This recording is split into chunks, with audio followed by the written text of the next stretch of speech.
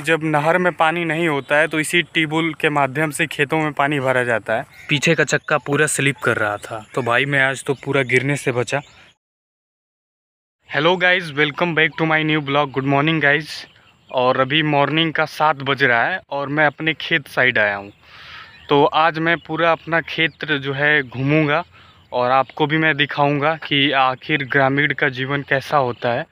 और देखिए, इधर पूरा खेत ही खेत है। और इसमें हमारा भी खेत है।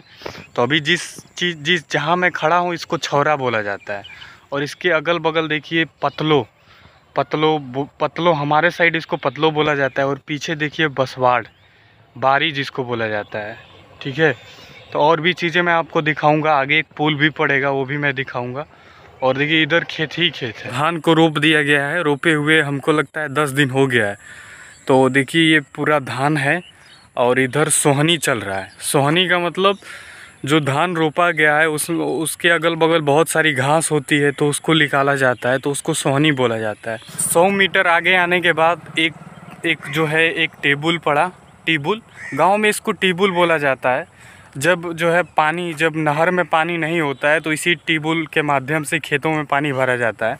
तो ये देखिए टेबुल है और इधर आम का पेड़ है मतलब आम का बारी। गाँव में इसको आम का बारी बोला जाता है और यहाँ पे बहुत सारा आम का एक ग्रुप है मतलब कम से कम आठ दस पेड़ है।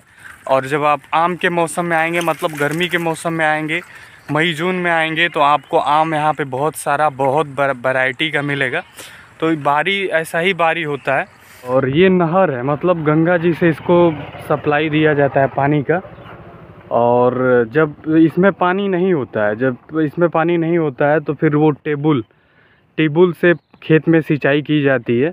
वैसे जो है, पानी तो इसमें बराबर रहता है। अभी धान का मौसम चल रहा है तो इसमें पानी तो देखिए, अभी भी पानी आ रहा है। तो कुछ इस प्रकार का नहर बोला जाता है। ये उतनी बड़ी नहर तो है नहीं। जी मतलब जिस हिसाब से खेत होता है, उस हिसाब से नहर का सब, पानी का सप्लाई भी होता है। तो इधर उतना ज़्यादा खेत है नहीं। तो इसीलिए थोड़ा इधर का सप्लाई थोड़ा डाउन रहता है। और देखिए, दोनों साइड पेड़ वगैरह लगा हुआ है। अपने आप ये जम जाता है। और देखिए, उधर उधर भी खेत है। और ये पूरा इधर खेत ही खेत है। तो कुछ ऐसा आपको यहाँ से दृश्य देखने को मिलेगा। गाइज़ अभी मैं जहाँ खड़ा हूँ, ये गंगा के बैंक साइड वाला एरिया है मतलब तट वाला। जब भी बाढ़ आता है तो फिर ये एरिया जो है पूरा पानी से भर जाता है। तो अभी जो है बाढ़ आकर फिर पानी घट गया है गंगा जी का, जिसके वजह से एरिया जो है पूरा, जो ज़मीन देखिए पूरा खाली दिख रहा होगा। और ये ज़मीन बलुवट है मतलब बालू वाली मिट्टी है। और यहाँ पे अगर देखा जाए तो आपको पनुआ, पहलेज, टमाटर बैगन, जो भी बालू मिट्टी पे मतलब होने वाली सब्ज़ी है, यहाँ पे प्रॉपर होता है। और देखिए, अगर यहाँ पे अगर आप शाम को आएँगे तो आपको डरावना सा लगेगा। इसी से मैंने पूछा तो वो बता रहे थे कि अभी जब बाढ़ आया था तो जहाँ पे मैं खड़ा हूँ, यहाँ तक पानी आ गया था। और पूरा, ये पूरा एकदम भर गया भर गया था पूरा। तो भाई, कुछ ऐसा सीन है यहाँ का। वैसे आप तो मूवी में ही जंगल वगैरह देखते होंगे, लेकिन ये रियली में, मैं आपको जंगल दिखा रहा हूँ, ठीक है? भाई, मैं जिस जगह खड़ा हूँ, इसी के जस्ट थोड़ा सा बगल में, गंगा जी का पानी अभी भी लगा हुआ है। और देखिए, कुछ ऐसा यहाँ पे आपको नाव भी मिलेगा। नाव भी है। तो और जो ऊपर वाला हिस्सा दिख रहा है, वो ऊपर वाला, वहाँ वो एक ज़मीन है। मतलब बलुवट ज़मीन है, वहाँ पे लोग रहते हैं। और आरी आरी जो है गंगा जी का पानी है। इस लैंड भी कह सकते हैं।